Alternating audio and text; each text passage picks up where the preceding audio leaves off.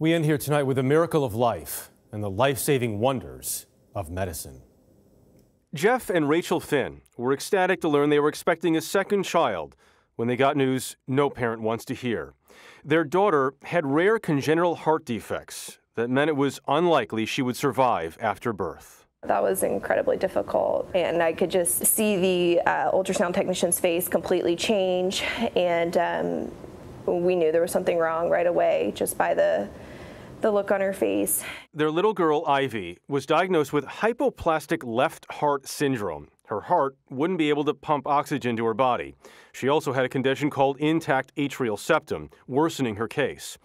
But doctors told the Finns there was a surgery that had never been performed before in the womb that might give Ivy a chance. I was just very thankful that there was something that we could attempt. Last month, the Finns moved from their home in Jacksonville, Florida to Houston, where Ivy could receive care at Texas Children's Hospital.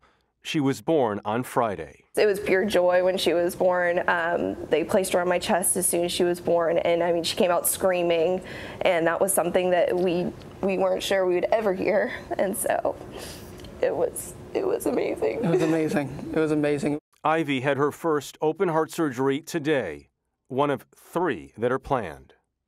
I mean, our faith has been what's gotten us this far, and just holding on to hope, knowing that, you know, this life isn't everything. And so we're just thankful for the time we've been given so far, and we pray that we have many, many years ahead of us with her. Yeah, we've kind of, we've kind of made a almost a pact um, since we found out with the diagnosis that uh, we kind of said, Ivy, if, if, you, if you live for, for 10 seconds or if you live for 100 years, we're going to be there and loving you with all of who we are yeah. uh, throughout your entire time.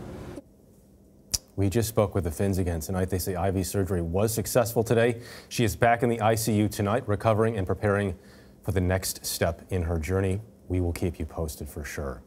That is the CBS Evening News for tonight. I'm Jeff Glor. We'll see you tomorrow. Good night, and go Ivy.